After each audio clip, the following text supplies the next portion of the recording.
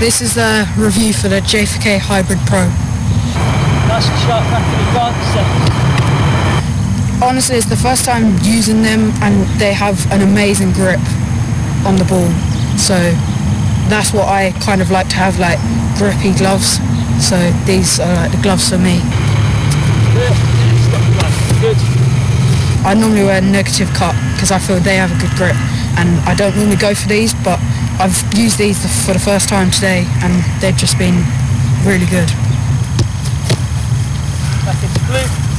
Yeah, set, step. In the palms you got this bit here which is good because you get to move your thumb so you can get it round the ball and th- I wouldn't have thought that this bit here would have got the gloves round the ball so well to keep it in its position but they are very grippy. You got the roll finger, roll finger and flat palm here. Feet, well done. I'd say nine and a half.